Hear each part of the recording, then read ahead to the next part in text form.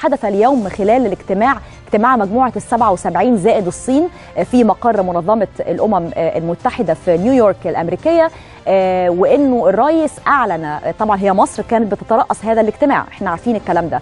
الرئيس أعلن انتخاب دولة فلسطين لرئاسة مجموعة السبعة وسبعين لعام 2019 بالتزكية.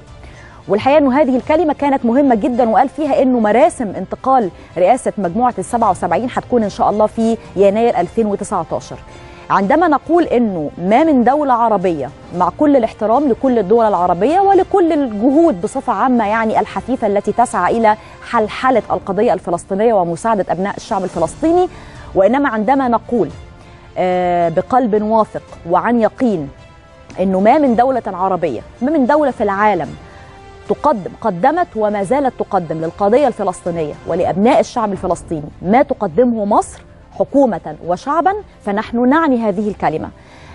مصر لها دور تاريخي في القضية الفلسطينية. شفنا على مدار سنوات طويلة جدا حتى خلال العامين الماضيين تهدئة الأوضاع بين فتح وحماس وعقد لقاءات كثيرة جدا والسفر إلى غزة واهالينا هناك وقيادات من فتح وغزة يأتوا إلى مصر.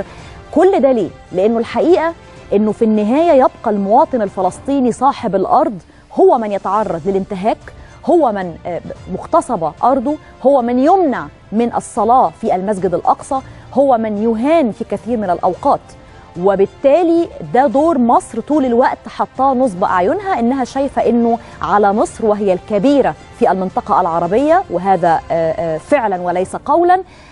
دور مصر الداعم دائما وابدا إلى أبناء الشعب الفلسطيني. ده الهدف الأساسي الأسمى اللي بنضعه قصاد أعيننا. لما بنتكلم على فتح المعبر وده بيكون طبعا قرار سيادي من رئاسة الجمهورية. واحيانا إحنا حتى كمواطنين كده ممكن يقول لك آه بس أحيانا لما بنفتح المعبر بيحصل حاجات بعدها وما أعرفش إيه. ده بيكون في دراسات كتيرة جدا. رئاسة الجمهورية بتكون عارفة كويس قوي هذا القرار.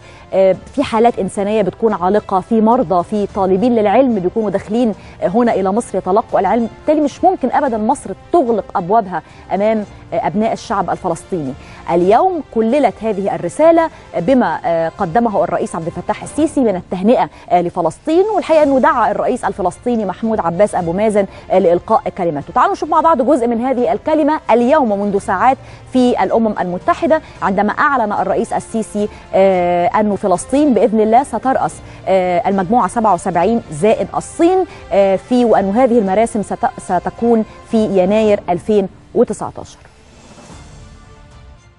كما تعلمون فإن رئاسة مجموعة 77 متتالية بحيث تنتقل كل عام لأحد الأقاليم الثلاث المكونة لمجموعة 77 وهي تدور في العام المقبل على إقليم آسيا المحيط الهادي. وقد سبقت تزكية كل من إقليم آسيا المحيط الهادي والاجتماع الثلاثين لكبار مسؤولي مجموعة السبعة والسبعين ترشيح دولة فلسطين لرئاسة المجموعة في العام 2019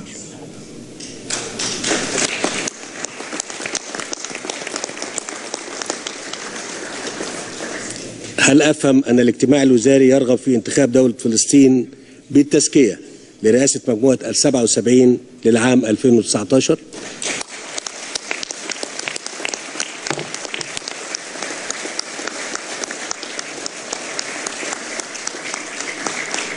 بالنيابة عن الدول الأعضاء مجموعة السبعة والسبعين دعوني أتقدم بالتهنئة لحكومة دولة فلسطين على انتخابها لهذا الموقع الهام. نثق في أنه تحت القيادة الحكيمة لدولة فلسطين وبالدعم القيم من السكرتارية التنفيذية للمجموعة وتعاونكم جميعا ستتمكن مجموعة السبعة وسبعين من تحقيق المزيد من الإنجازات في العام 2019